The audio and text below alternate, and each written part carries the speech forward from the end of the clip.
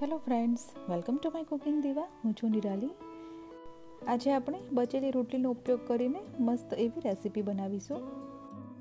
તો જ્યારે પણ હવે તમારી પાસે રોટલી બચી જાય, ત્યારે તેનો આ રીતે ઉપયોગ કરજો. તો ચાલો આપણે બચેલી રોટલીમાંથી ટેસ્ટી એવી કટલેસ બનાવવાની રેસીપી જોઈ લઈએ. તો તેના માટે મેં અહીંયા ત્રણ જે રોટલી હતી મારી પાસે, તેના રીતે ટુકડા કરી લીધા છે. હવે તેને મિક્સચરમાં ક્રશ કરી લેવાની છે. મિક્સિંગ બાઉલમાં બે બોઇલ કરેલા બટેકા લેવાના છે. તેને પહેલાં મેશ કરી લેવાના.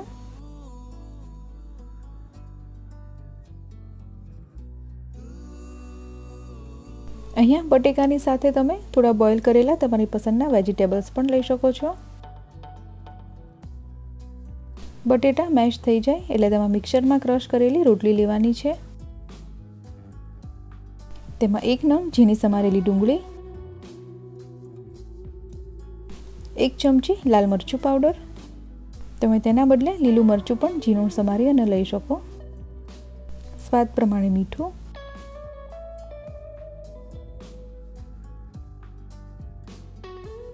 એક ચમચી આમચૂર પાવડર.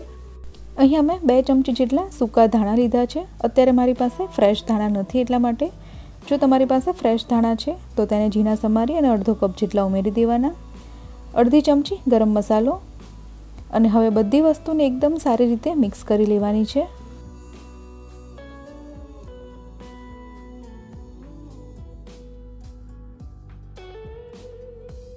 હાથેથી સારી રીતે બાઇન્ડ કરી લેવાનું છે.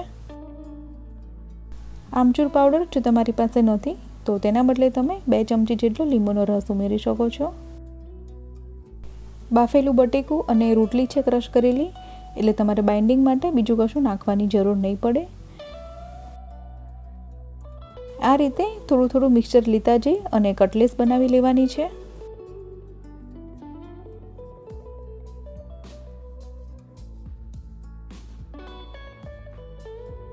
તો અહીંયા મેં બધા મિક્સચરમાંથી કટલેસ બનાવીને રેડી કરી લીધી છે. હવે એક પેનને ગરમ કરવા મૂકી તેમાં કટલેસ શેલો ફ્રાય કરી શકીએ તેટલું તેલ લેવાનું છે. એક એક કરી અને તમારા પેનમાં જેટલી સમય તેટલી કટલેસ મૂકી દેવાની છે. ગેસ અહીંયા તમારે ધીમો રાખવાનો છે. બંને બાજુ ગોલ્ડન બ્રાઉન થાય ત્યાં સુધી શેલો ફ્રાય કરવાની છે. થોડી વાર થાય એટલે કટલેસને સાઈડ ચેન્જ કરી લેવાની છે.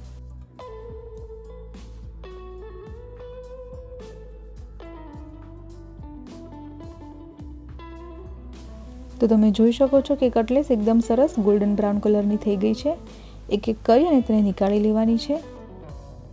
બહારથી એકદમ સરસ ક્રિસ્પી બની છે કટલેસ. હવે બાકીની જે કટલેસ બચી હતી તેને પણ શેલો ફ્રાય કરી લેવાની છે.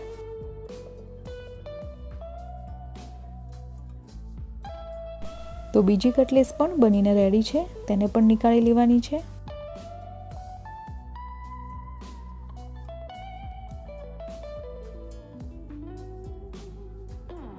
તમે જોઈ શકો છો, એકદમ સરસ બની છે આપણી કટલેટ. કોઈ પણ સમયે તમે આને બનાવી અને સર્વ કરી શકો છો. બાળકોને કંઈક નવું ખવડાવવું હોય તો આ બેસ્ટ ઓપ્શન છે.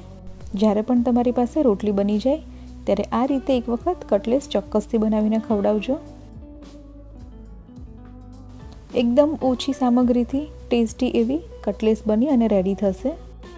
બાળકોની સાથે મોટાને પણ ખૂબ જ પસંદ પડશે. તો કેવી લાગી તમને આજની આ રેસીપી? કમેન્ટમાં જરૂરથી જણાવજો.